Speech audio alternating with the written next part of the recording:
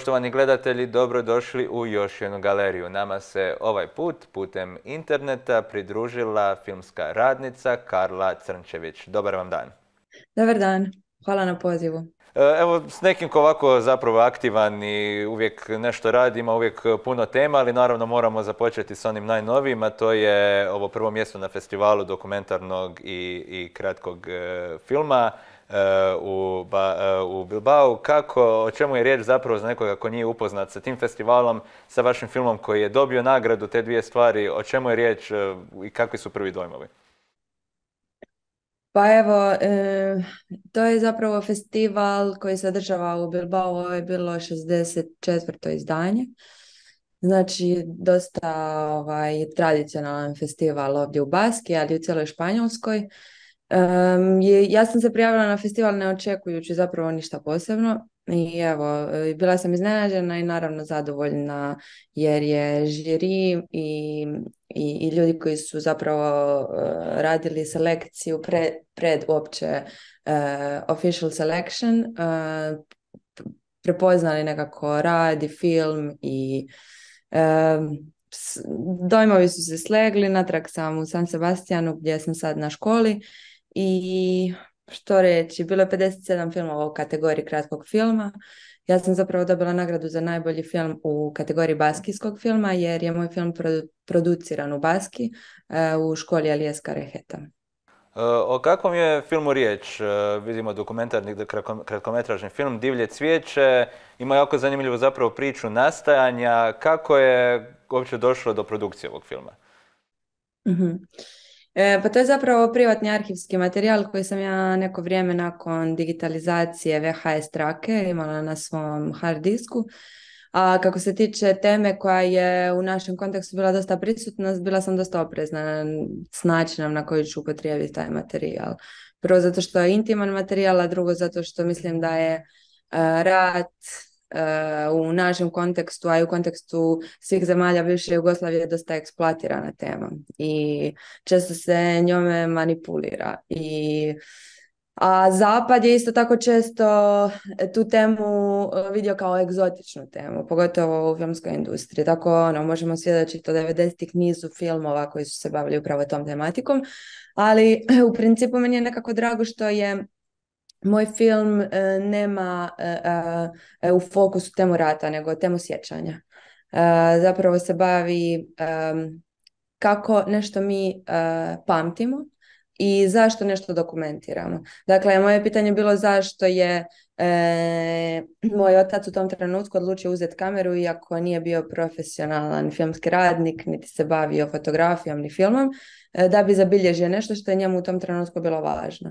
Dakle, bavim se pitanjem zašto nam je nešto u nekom trenutku važno, kada to dokumentiramo, koliko to puta opet pogledamo i koliko se često vraćamo slici kao materijalu, kao materijalnosti, a koliko zapravo i nekako se naslanjamo na svoju, svoje sjećanje, svoju memoriju i koliko se ta memorija e, e, s vremenom mijenja. E, baš me zanimalo ovo čega ste se zapravo nakratko dotaknuli. E, tema rata u nas je već dobro iscrpljena, ali kako je publika, žiri, ljudi koji su to gledali s ove strane, e, kako su oni reagirali na to? Neko ko ima potpuno drugčiji kontekst i ko nije sudjelovao naravno specifično u ovom našem ratu ovdje. Mhm. Pa evo, kažem, nekako ja sam kroz film e, dosta abstrahirala kontekst, znači nisam se htjela baviti konkretno. Naravno, tu se vidi natpis Sela Radovčić i odakle e, je dio moje obitelji i e, zapravo neko ko možda bolje poznaje geografiju može ga locirati, ali nisam se konkretno kroz narativ nikad dotaknula koji je to rat, jer mislim da svaki rat ostavlja nešto iza sebe, a to je jedna vrsta destrukcije koju ljudi koji se vraćaju u svoje domove žele dokumentirati da bi se nekad podsjetili što se dogodilo ili promjena ili tako dalje. Tako da, e, kažem, ljudi koji su gledali film, e, svidio im se zbog ove druge teme kojom sam se bavila. A kako se generalno sad u zadnje vrijeme bavim pitanjem arhiva, meni je to e, pitanje važno, znači pitanje sjećanja. Sjećanja i onog šta mi pamtimo, institucionalno sjećanje, privatno sjećanje, postoje ono različite kategorije. Ali da, nismo puno pričali o ratu, više o na koji način ljudi upotrebljavaju kameru e, i, i, zbog čega ljudi koji nisu profesionalci zapravo uzimaju kameru u ruke. Mislim sad i mobitele i zbog čega nešto dokumentiramo. I što vas je najviše iznenadilo pri pregledavanju tog materijala, kasnije slaganju i cijeloj toj produkciji? Kako izgledala zapravo cijela ta situacija iz perspektive nekoga ko se nije bavio time, na što se fokusirao, na koji su zapravo, koja je točka gledišta e, vašeg oca zapravo bila? Hmm. Pa meni je bilo jako zanimljivo to, evo, dvije stvari koje bi istaknula. E, prva stvar je da ljudi kad su u takvim situacijama, kad samo žele nešto dokumentirati, a pogotovo neku situaciju koja im nije jednostavna ili koja im je stresna, koriste kameru kao oči. Dakle, ne zadržavaju se, ne razmišljaju naprijed, nego e, pokreti kamere su jako nekoherentni, ajmo reći, ili brzi, e, pa se ne, vide, ne vidi se cjelokupna slika, nego se vide detalji. Onda pri zoomiranju možete vidjeti što je toj osobi bilo posebno važno, iz prostorije u prostoriju, um, dokumentiranju cijelog sela kao nekog. Ali ono što je mene zapravo posebno iznenadilo je što je dalo, mislim, neki, neki čar tom cijelom E, materijalu je to što u jednom trenutku se zapravo počinje zoomirati cvijeće, odnosno neka priroda koja je preživjela okolo. Mislim, to je dosta onako, recimo, klišeizirana ideja, ali radi e, da u trenutku kad imate nekako de, uništen e, okoliš, uništenu arhitekturu, ono što vam privlači pažnju ono što je živo, ono što ima boju. Tako da, pogotovo s obzirom na prirodu VHS trake, te boje su posebno fluorescentne, intenzivne, tako da eto, mislim da je to ta druga stvar koja je mene iznenadila, da u trenutku tog dokumentiranja ti zapravo skrećeš pozornost na nešto što je lijepo tome svemu. Ja vjerujem da je zapravo i nemoguće tu pronaći neki doslovni kliše ili nešto jer radi se o sirovoj snimci, baš dapače, vjerujem da ste puno toga i primijetili zapravo gledajući toliki niz filmova i zaboravimo da se, da svi ti kliševi, nekakvi arhetipovi dolaze od nekud. E, koliko, koliko toga zapravo bilo vama čak iznenađujuće vizualno, primamljivo i efektno za neku veću publiku bez da je snimatelj uopće imao namjeru da to bude prikazano jedan put i na festivalu i dobije nagradu. Pa da, to je to. Mislim, meni je to zapravo ta ideja uopće. Mislim, film je stvarno jednostavan i e, on zapravo koristi taj materijal koji je snimljen, ali onda je snimljen i jedan e, razgovor koji sam ja uvedila sa e, ocem koji je autor te snimke, a razgovor se bazira na tome čega se on sjeća. Onda tu ja njega zapravo malo i navodim kao pitam ga neka po, posebna pitanja koja ja vidim u slici, a on nije siguran nisu li tu. I to je ono trenut, na trenutke smiješno, na trenutke onako začuđujuće, tako da e, taj jedan narativ koji ide povrh slike, mislim da stvara kontekst e, e, koji je zanimljiv. E, baš me to zapravo i zanimalo kad je film i, završen, pogotovo sada nakon festivala, kako je reakcija zapravo obitelji, ljudi koji su to vjerojatno i prije vidjeli i zapravo na kraju osobe iza, iza kamere? Ma super. Mislim, ja nisam, ja sam zapravo e, to e, pokazala njima kad je to bilo u nekoj završenoj potpuno fazi i sa glazbom koju, koju je napravio, zapravo ne za ovaj film, ali je napravio Nenad Kovačić i Jane Paška, jedna super lijepa pjesma. E, I mislim, oni su bili užasno iznenađeni da sam na taj način iskoristila taj materijal i mm, skroz jednostavne i lijepe reakcije. Uh, evo ja da ste napomenuli na početku koliko rat nije poanta svega ovoga, rat nije toliko glavna stvar koju bi ljudi trebali možda i zapamtiti svega ovoga, ali s obzirom da je to toliko prisutna tema u našoj filmografiji u Hrvatskoj, ipak mi se čini da, da smo nekime već i dosadila kao tema, no je li moguće zapravo da ako neko nađe ovako jedan novi način za pristup u toj temi, da zapravo i u ovom ratu da još toga napraviti, pogotovo filmova, ako neko nađe ipak jedan kut gledanja koji možda hrvatska filmografija do sad nije našla za istražiti. Postoji li tu još prostora za istražiti rat na neki novi način, evo, na primjer, kroz ovakvu vrstu sjećanja ili na nešto potpuno drugo? I, po vašem mišljenju. Pa mislim da uvijek, mislim uvijek postoji mogućnost istražiti bilo što što je jako istraženo, ne samo rat. A mislim rat je sad već neko opće mjesto jer se događa na toliko mjesta na, na svijetu trenutno da i mislim da se nikad previše ne razlikuje kad se tiče civila. Jel? Ne, ne razlikuje se previše. Jer možemo razlikovati godinu kontekst, ali na kraju rat je nešto što uništava i što tjera ljude da se pomiču od nekud od kud se ne žele pomaknuti. Tako da mislim da će uvijek e, o toj temi biti jako puno filmova i literature i to je možda neka najzastupljenija tema trenutno, nažalost. Um, tako da, da, naravno, mislim da se ovisi na koji... Mislim da se svaka tema može dodatno istražiti ukoliko se ona ne eksploatira i ukoliko se njome ne manipulira u, u, u neke posebne svrhe. Jel? I evo, kroz 90. godine vidjeli smo, naravno manje ljudi bilo sa kamerama, pogotovo tim malim i danas naravno kamere imamo posuda i sve više ih ljudi koristi doslovno kao oči, kao što ste rekli. E, je li to nešto čemu ste i prije već razmišljali dok ste se bavili filmom ili tek sad s ovim filmom otvarate nekako novi svijet kako se sve ova nova tehnologija i upravo korištenja kamere kao nekako načina za provođenje sjećanja može iskoristiti? Pa ne, mislim, ba, razmišljam o tome već neko vrijeme i ranije sam se kroz svoje neke video radove bavila idejom uh, kamere s mobitelom. Mm, postoji jedan zanimljiv tekst uh, koji se zove U obranu loše slike, a priča o zapravo niskoj rezoluciji. Kamera koje su kamere mobitela ili VHS kamere, starije kamere i zapravo priča o jednoj uh, fenomenu koji se zove slika katastrofe ili slika hitnosti. Tako da bavila sam se tom idejom zašto neki ljudi e, pokušavaju dokumentirati stvari da bi se obranili od nekog nasilja, kao na primjer ljudi u pokretu koji se pokušavaju dokumentirajući policijsko nasilje na granicama e, dokumentirati nešto što, što im potencijalno može ih koštati života. Jel?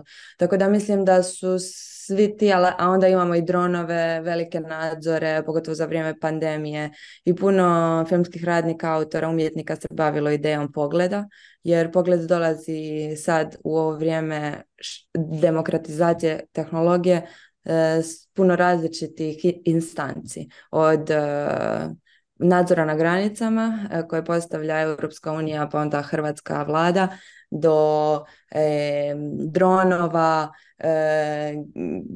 kamera, nadzornih kamera na svim mogućim zgradama za koje uopće ni ne znate da su tamo, a dokumentiraju vaše svakodnevno ponašanje, kretanje, termalnih kamera. I onda na kraju tih naših individualnih malih kamera na mobitelima u kojim imate ono čitav, čitavo more do, dokumentiranih situacija koje više ni ne možete pronaći. Tako da, da, to je ono neka ogromna tema koja je meni jako zanimljiva, a e, nadam se da ću se nastaviti baviti njome kroz različite medije. I postoji li neka opasnost ili razmišljanje o tome koliko nas je sad više, koliko nam je teško i razaznati što je stvarno, što nije kroz ove, ove kamere i koliko se s time, koliko je potencijal igre s time u, u filmografiji? Pa naravno i mislim da u igranom ili dokument ili bilo kakvom filmu kao umjetnosti ne moramo ni ne trebamo razmišljati što je stvarno i nije stvarno jer mislim da je film uvijek jedan okvir za imaginari bez obzira što je dokumentaran znači on postoji okvir i u taj okvir odlučuje što ćeš staviti postoji montaža i ona je e, zapravo a priori jedna manipulacija narativa. A da, e, eto, to otprilike, tako, to mislim. E, kada je riječ o ovom filmu specifično, u kojem nekako trenutku ste shvatili da ono što pregledavate, digitalizirate je vrijedno jednog možda filma? Je li to je li krenulo od ideje za filmom ili se negdje tijekom tog procesa stvorila ideja, a ovo bi mogao biti jako dobar film, nešto što bi ljudima vrijedilo pokazati? Ne, ne, ne, ja sam to digitalizirala zato što je meni generalno ovaj, zanimljivo e, čuvat te neke starije stvari. Mislim, to, je, to, to u svakom slučaju da to nije na kraju sad e, e, postao film, mislim da je to bitan materijal. Ako, ako ni zašto drugo za taj neki uski krug obiteljski koji možda želi to sačuvat, e, to, to je neki ono, specifičan pogled, specifičan kontekst i tako dalje. E, Zapravo je došlo do ideje kroz jednu vježbu na faksu koju smo radili u sklopu kolegija koji se zvao uh, Avant Garden, uh, zapravo neko povezivanje s vrtom i došlo je do nekakve slučajnosti stvarno, zato što ja sam odlučila, ok, ja nisam baš sklona često snimat nove stvari, volim koristiti stvari koje su već snimljene jer mi se čini da je, kao što sam već rekla, ima toliko puno slika koje su već proizvedene da ako ćemo ići snimati nešto novo, uvijek ćemo snimati nešto što je već snimljeno. Um, teško je snimiti nešto baš skroz novo. Ono što ako želite snimati nešto novo je zato što želite imati takvu teksturu slike, takvu boju, želite raditi na fik- filmu u fikciji i tako dalje. Mm, tako da e, film se da razvio tako kao jedna slučajnost u okviru tog kolegija, u taj materijal sam ja pregledavala, razmišljala što s njim. Meni je bilo dosta teško i osjetljivo raditi s tim materijalom. Zapravo ono, nisam se na to odlučila olako, trebalo mi neko vrijeme i zapravo je odluka pala da ću zapravo i završiti taj film nakon tog razgovora koji se odvio telefonski, nakon kojeg sam ja shvatila da je stvarno nešto ne, jako nepretenciozno u tome svemu. Mislim, bar iz mog pogleda, možda neki drugi ljudi drugčije misle.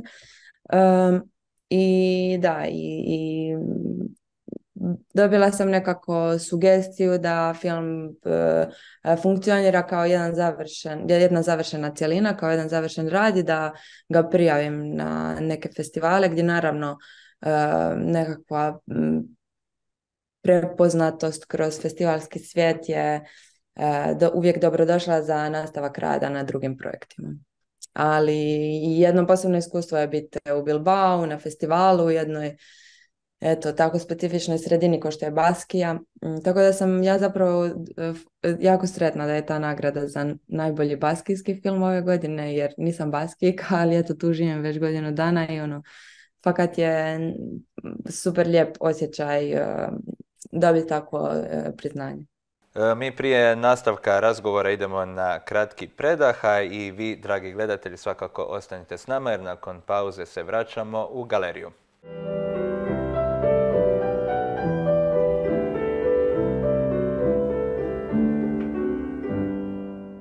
Sad kad ste to već spomenuli i, i, lokaciju i mjesto gdje trenutno djelujete, kakva atmosfera tamo izvan samog naravno festivala što se tiče filma, pogotovo usporedbi sa ovim dijelom Europe ovdje, ili postoje tako velike razlike kao što se to čini kad odavde gledamo? E, pa da, postoje. Mislim, Baskija je najbogatija regija u Španjolskoj, ima jednu svoju određenu autonomiju zbog političke borbe koja se tu vodila od kraja 80-ih pa do recimo početka 2000-ih.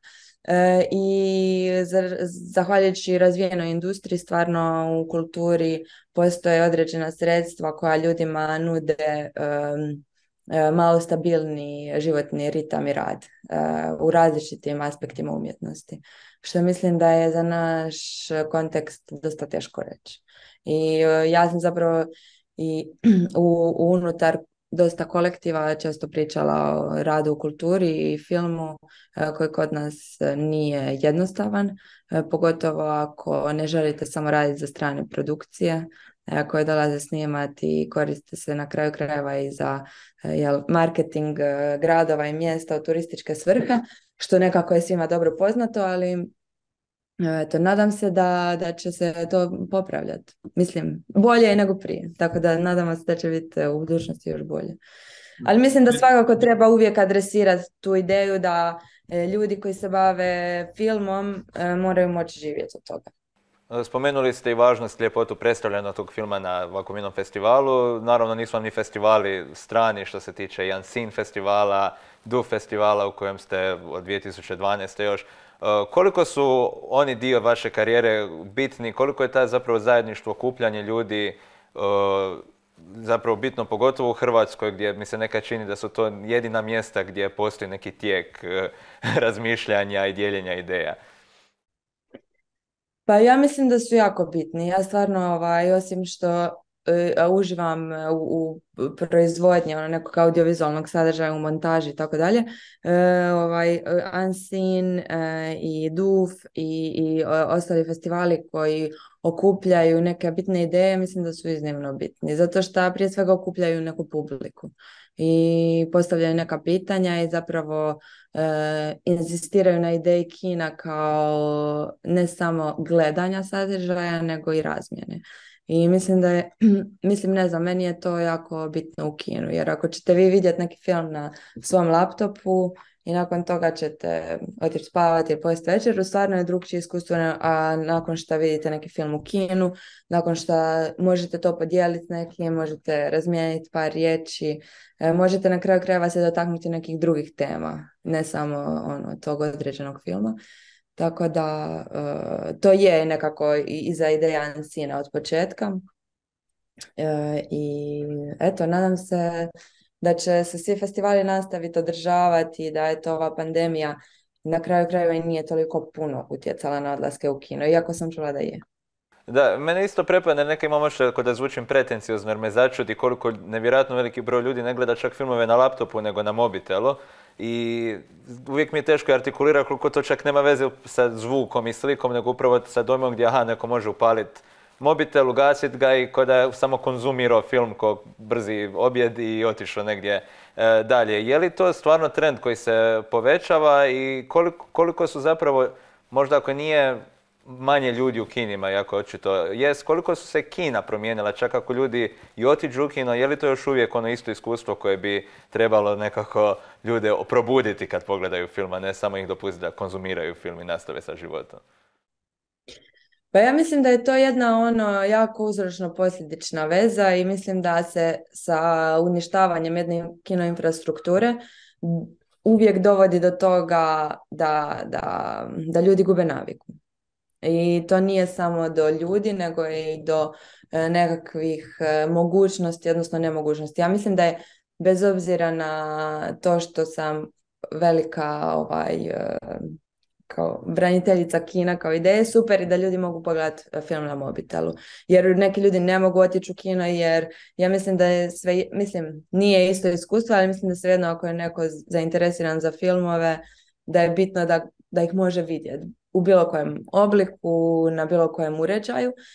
Um, ali naravno, mislim, ne može se to zamijeniti sa kinom i sa tim nekakvim iskustvom u kojem si ti potpuno uronjen u film, u kojem nemaš nikakve distrakcije, u kojem neće ti proći autobus pa ćeš zaboraviti što si gledao i tako dalje. E, I mislim da su se kina promijenila upravo zato što je sve više komercijalni kina koja su skupa, koje, kojem ti da odvedeš, ne znam, cijelu obitelj u kino koliko potrošiš. Mislim, ko ne, ne mogu se to svi ljudi priuštiti. E, nezavisna kina su ograničena budžetima, programima, i tako da, ali svejedno, mislim da treba i dalje inzistirati na ideji nezavisnih kina, na javnom financiranju kino, kino infrastrukture, na kinu kao javnom dobru, jer na taj način će se više ljudi vraćati u kina. Također stvari edukacije koliko će se e, u škole e, uvoditi ideja odlaska u kino kao jedne kulture odlaska u kino, kao nečeg e, normalnog, standardnog druženja, ne znam, eto, to su neka razmišljanja. I čitajući ovom zadnjem Mancinu, vidim da je bio naglasak na, na DIY kinima, što je zapravo, to sam samo vidio kao rečenicu, što se zapravo podrazumijeva po tim, jer mi je zazvučilo prilično zanimljivo.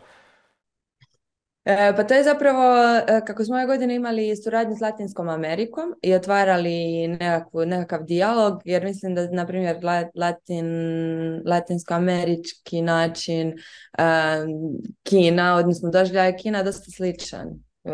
I dosta slične nekakve političke okolnosti i tako dalje to, to, to je zapravo iz jednog manuala brazilskog koji je pokušavao raditi e, upute na koji način sa kutijom cipela, mobitelom e, napraviti projektor. koji onda projicira sliku i kako zapravo u svakom kvartu e, lokal, lokal, kako se kaže, lokalni community može e, e, proizvesti nekako svoje low budget kino ako želi okupiti e, e, susjede, obitelj da gledaju zajedno film vani. Jel, to je kao neka ideja otvorenih kina i manjka infrastrukture koja u Brazilu posebno s obzirom na vladavinu Bolsonara bila ono, u potpunom deficitu. Sad će se možda s Lulom nešto promijeniti na bolje. Eto, nadamo se. E, I za kraj standardno pitanje. Ja vjerujem da je naravno bilo kakva ovakva nagrada vjetar u leđa, ali što se tiče nekih budućih projekata, razmišljanja, koliko razmišljate o budućnosti, što još znate da je negdje tu na horizontu blizu što se tiče projekata?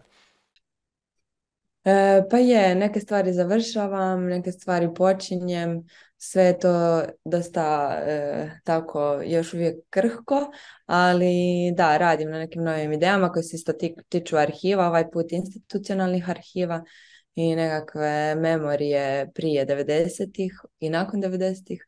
E, vidjet ćemo što će biti, ali svakako evo, sad završavamo ovo, ovaj master studij tu i nemam neke baš super konkretne planove, ali evo, u, u, stalno se sam u nekom procesu. Normalno. To je to. Hvala vam e, puno na razgovoru. Hvala vama na pozivu. Hvala i vama, dragi gledatelji, do sljedećeg puta i do još jedne galerije. Hvala na pozornosti i doviđenja.